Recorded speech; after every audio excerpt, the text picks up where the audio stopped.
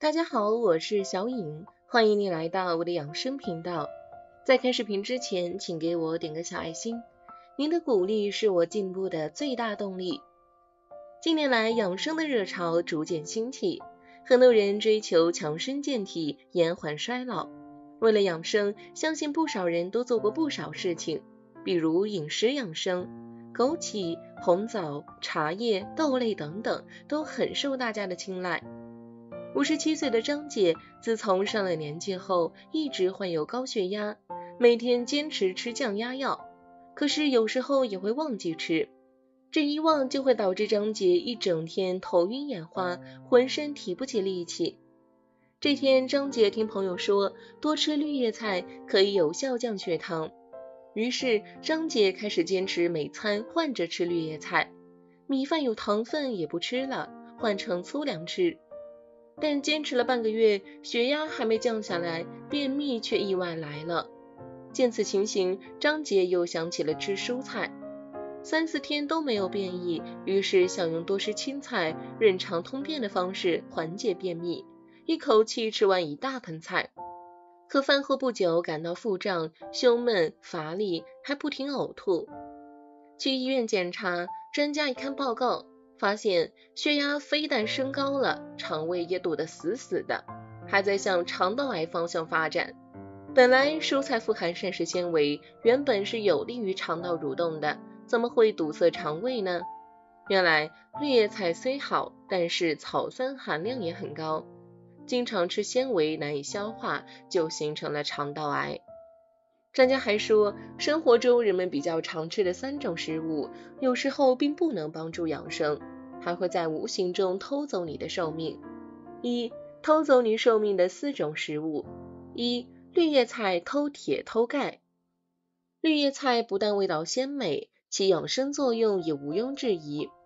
就拿钙离子来说，很多绿叶菜都富含钙，有些绿叶菜的钙含量与牛奶相当。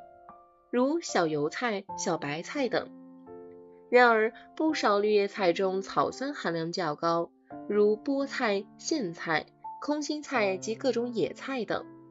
草酸可和钙结合，形成草酸钙结石，不利于人体对钙的吸收。此外，草酸还是铁吸收的干扰因子，很容易与铁结合成沉淀，使铁不能在肠道中溶解被人体吸收。二豆类偷睡眠、偷营养物质。俗话说：“宁可一日无肉，不可一日无豆。”简单一句话，道出豆对百姓生活举足轻重。而在所有的豆类中，大豆是营养价值最高的品种，男女老少皆宜。大豆中的碳水化合物种类复杂，有些是人体不能消化的胀气因子，容易在肠道中发酵，引起肠道胀气。肠道胀气不但会影响人们的正常睡眠，同时还会影响对铁、碘、锌等矿物质的吸收。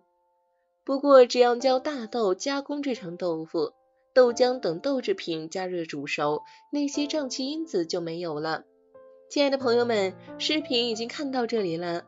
如果觉得我的视频对你有帮助的话，那么就伸出你的发财小手，帮我点个赞呗。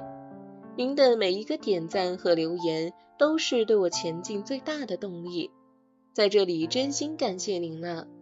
三红枣偷健康偷睡眠，无论是在中药方子里还是日常膳食中，我们常常能看到红枣的踪影。中医认为红枣有健脾益胃、补气养血、宁心安神等功效，尤其是适合脾胃虚弱、腹泻、气虚。倦怠无力、心神不宁之人食用。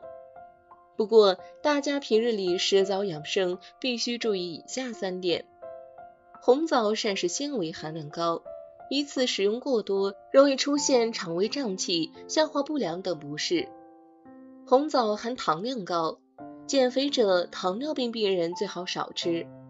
正常人吃多了，也可能导致胃酸过多、胀气等问题，影响睡眠。过食红枣还容易助长体内湿气。如果本身就是痰湿体质，比如咳嗽痰多、舌苔较黄较厚、湿重腹胀等情况，更应少吃为妙。四、薏米伤脾胃，损阳气。红豆、薏米基本已经成为一个公认的祛湿秘诀了。但红豆、薏米并不适合所有的人来祛湿。中医讲究辨证施治，无论是健脾利湿还是清热祛湿，都要看每个人的体质症状，针对病因及类型进行治疗或调理。使用注意事项：每个人的身体状况都是不一样的，有的人容易出汗。烦热、口渴、爱喝凉水，手心、脚心常常热烘烘的，并且舌头偏红，这类人是偏热性体质的人。有的人容易畏寒怕冷，经常手脚冰凉，爱喝温热的水，容易腰膝酸软，并且舌苔白腻，这类人是偏寒性体质的人。薏米虽然有良好的利尿祛湿的功效。但是薏米药性偏寒凉，对于偏热性体质的人吃了无碍，但是对于偏寒性体质的人来说，经常吃薏米无异于雪上加霜。所以要想发挥好薏米的功效，还得好好分体质，按方法使用。除了要注意前面这四种会偷走寿命的食物外，还要注意正确的认识怎么样健康吃蔬菜。以下几种蔬菜自带毒素，在食用前一定要去焯水。为了身体健康，千万不要忽视。一、豆类食物一定要注意，在吃豆类食物之前一定要焯水，否则生吃会使我们出现食物中毒的情况，会影响到身体健康。在使用豆类食物时，用开水焯一遍，不仅能够减少烹饪时间，同时摄入人体后也能够更健康。二、春笋，春笋中有着丰富的膳食纤维和铁元素，是人体必需的营养成分。春笋若是处理不到位，就会出现一股涩味。之所以会出现涩味，是因为春笋中有着众多的草酸和氰化物。虽说氰化物本身没有毒性，但是进入人体后会与胃酸发生化学反应，从而形成氰化氢。这是一种有毒物质，若摄入人体后，会使人体出现恶心、呕吐的情况。若想减轻这一有毒物质，在吃之前可以进行焯水。三、西兰花、花菜。西兰花和花菜若是在食用时只简单的清洗，无法将其清洗干净，会留下众多的农药残留，摄入人体后会对人体健康不利。